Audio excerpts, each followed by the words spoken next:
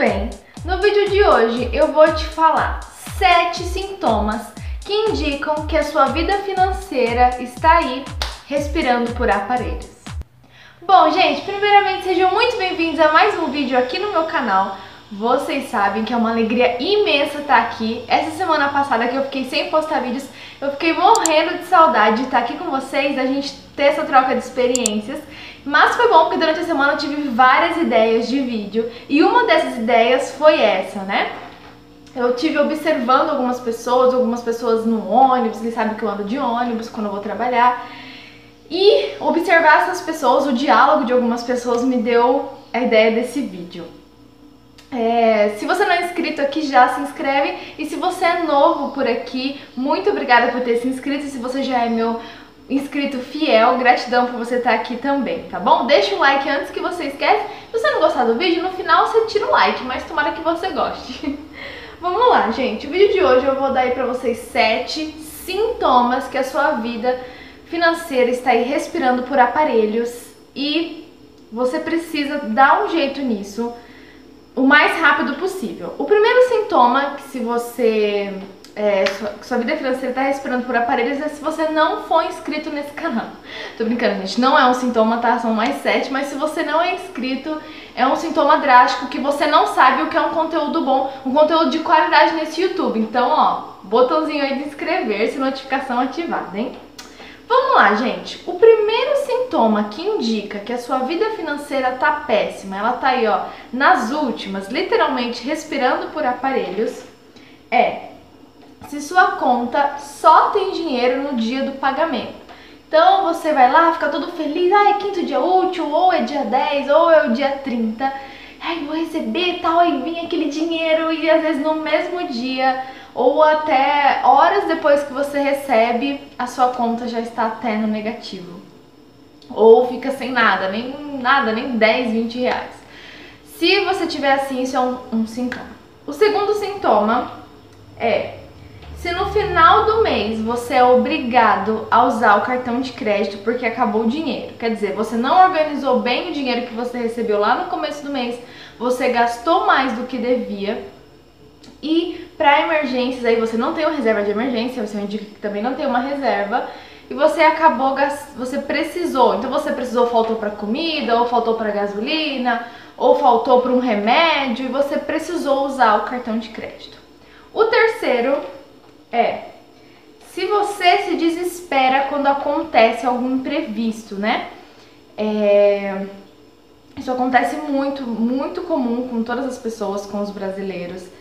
Se acontece algum imprevisto e você não tem da onde tirar, e se isso acontece com frequência, você desespera, você perde noite de sono, você não dorme pensando nisso, isso é um sinal também que você precisa estar tá melhorando esse aspecto. Porque, gente, vida financeira equilibrada é tão importante quanto ter uma alimentação equilibrada, como ter um relacionamento, sabe, harmonioso, equilibrado, como estar tá em equilíbrio com Deus, com o universo, com o que você acredita, profissionalmente. Gente, a vida financeira é um pilar muito importante. Muitas vezes as pessoas, elas negligenciam isso, sabe? Acham, ah, ah, tudo bem pagar dívida, tudo bem só pagar conta, tudo bem viver endividado, sabe? Tudo bem nunca conseguir nada, só conseguir as coisas com dívidas. E não tá tudo bem, gente. Eu fiz esse vídeo assim para se você tiver com hum, vai cinco, seis sintomas desses, para você falar, não, a partir de hoje eu vou melhorar, eu vou fazer o que é realmente importante né? Vou correr atrás dos meus sonhos, dos meus objetivos, vou ter um propósito de vida. E eu acredito que esse vídeo vai ajudar vocês, tá bom? Ah, já me segue lá no meu Instagram, se você não me segue, que é o arroba anapaulaminhashiro, que lá eu tô sempre por lá, tô dando oi pra vocês nos stories, tô no feed. Se você quiser me mandar mensagem, pedir alguma dica, pode me mandar, tá bom? Vamos lá, gente. O quarto é, se você não faz o que você gosta, por falta de dinheiro ou se você faz com cartão de crédito ou com algum dinheiro emprestado, um dinheiro que não é seu. Né? Então a pessoa fala assim: "Ai, eu gosto da minha vida, eu sou gastona, eu sou isso, eu sou aquilo, mas a única coisa que eu não faço, que não dá, é viajar". Então você pensa, se você tá feliz, mas você não consegue fazer aquilo que você quer, que é viajar, por conta da desorganização financeira, isso é um sinal que a sua vida não tá legal. O que, que adianta a gente viver só pra, pra ser escravo da nossa empresa, ser escravo do governo, ser escravo do dono da empresa, o que, que adianta, gente? Sabe? A gente tem que viver para realizar os nossos sonhos, usar o dinheiro, direcionar o dinheiro para aquilo que mais importa pra gente. E o que é aquilo que mais importa para você é relativo. Para mim pode ser importante ter uma lixeira de inox que custe 500 reais. E daí, se for importante? Eu vou lá, junto o dinheiro e compro a minha lixeira de inox que não pode, muitas vezes a gente ficar julgando, sabe? Ai, olha, ela é econômica, mas ela compra isso. Ai, ela é minimalista, mas ela compra aquilo. A gente muitas vezes fica julgando o outro, sabe? E a gente nem sabe da vida do outro. A gente tem que muitas vezes olhar pra gente. Então, se você deixa de fazer as coisas, você deixa de passear, se você deixa de viajar, você deixa de comprar aquilo que você quer, que você gosta, a marca, por exemplo, uma roupa de marca que você gosta por falta de dinheiro ou você usa o cartão de crédito para fazer aquilo, você não consegue comprar à vista, é um outro sinal. O quinto sinal é se você usa com frequência a frase depois a gente vê. Não sei se vocês já usaram esse tipo de frase, você fala assim: "Ah, eu tô com uma vontade de comer fora hoje. Vamos usar aquele dinheiro lá que é pro gás. Ah, depois se acabar o gás, depois a gente vê." Vamos viajar, parcela aí. Mas pô, não tem como pagar. Ai, depois a gente vê. Ai, vamos, vamos, o que mais que as pessoas geralmente gastam? Vamos comprar perfume, vamos comprar roupa, ai, televisão, vamos pôr um, uma TV a cabo, depois a gente vê como paga. Se você usa muitas vezes essa palavra, depois a gente vê, quer dizer que você não se preocupa com o seu dia de amanhã e que assim você é, tá desequilibrado financeiramente e que você não tá nem aí. Mostra que você não tá nem aí, depois a gente vê. Só que a gente esquece que o depois também chega, né? O depois é tipo, pode ser amanhã, pode ser depois. O que, que vale a gente fazer as coisas e depois acabar ficando preocupado, perder noite de sono? Muitas vezes fica, a gente, as pessoas ficam até doentes por conta de problemas financeiros, né? Muitas vezes a gente perde um pai, perde uma mãe, perde um parente por não ter condições financeiras de ajudar, né, as pessoas. Imagina, poxa, se eu tivesse condições de pagar um tratamento para minha mãe hoje, se eu tivesse condições de pagar um médico particular para meu pai, para meu irmão, para alguém que precise, ia ser tão bom. Então muitas vezes a gente gasta com coisas supérfluas e não pensa numa emergência, não pensa no que é realmente importante. A sexta é: se você não gosta de falar sobre economia, né? Então você fala assim, ai, vamos falar sobre isso, tal. Fulano juntou dinheiro. Ai, juntar dinheiro, isso aí não dá certo.